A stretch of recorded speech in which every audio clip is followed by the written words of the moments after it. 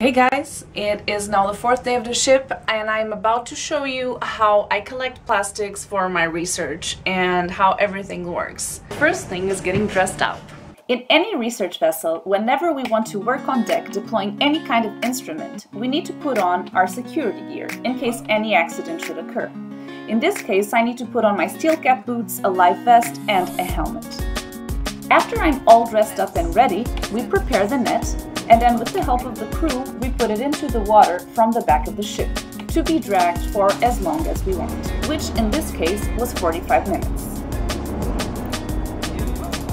As you can see, can they see? Okay, so there's the net and we collect every plastic that is at the surface. That's why we have these two floats so that they, the net stays floating at the surface. And then there's this little thing in the middle called flow meter, which is basically water passing through, which we need to know uh, how much plastic we collect and how much amount of water that passes through the net. There are also other nets which are made to be towed vertically, so they go into the depth into the in the deeper waters, and then we push them up, or we pull them up. I'm sorry. You can also tow horizontally in deeper waters, but in this case we just want the surface waters and uh, it doesn't drop through. Us waiting for 45 minutes. After 45 minutes of being towed, the net is ready to be pulled back up on board.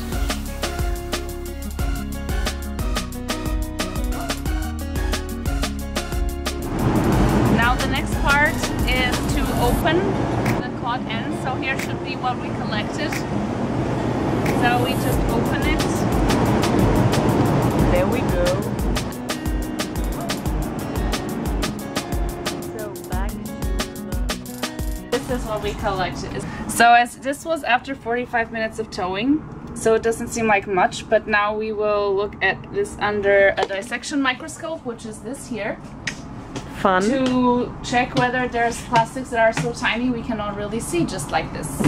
And then we will count them and store them at minus 80 because after that we take them to Vienna where we extract DNA and then we try to study the bacterial or microbial communities that are attached to these plastics. So let's get to work. So now I'm looking for the plastics here. We pass them through sieves to separate them by size.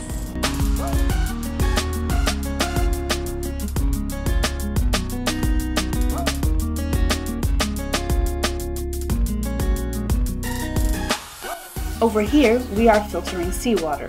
Let me explain to you why. In order to understand the microbial community living attached to these plastics, we also need to be able to compare it to the natural microbial community living in the seawater. Using DNA, we are capable of, for instance, identifying the species living both on the plastics and the seawater, and then determine whether specific species prefer living on the plastics and which species they are.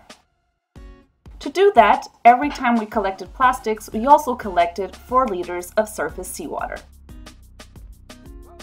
After collecting the plastics, we can immediately store them, with the attached communities at minus 80 degrees Celsius.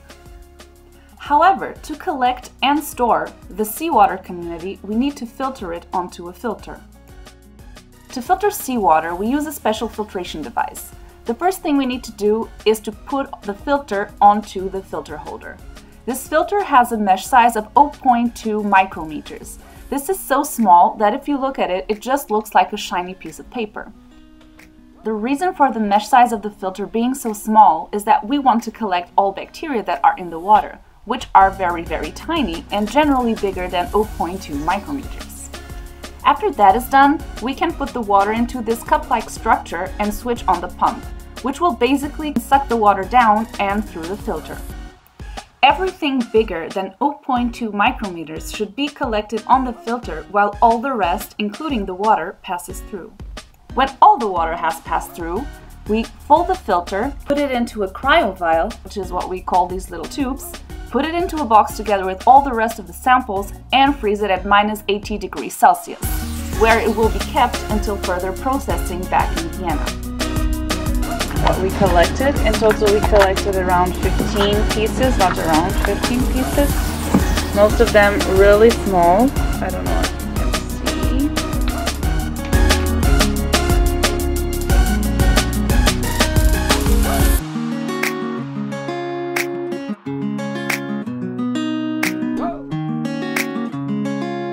This is it guys, this is what we do with our plastic work here on the cruise and I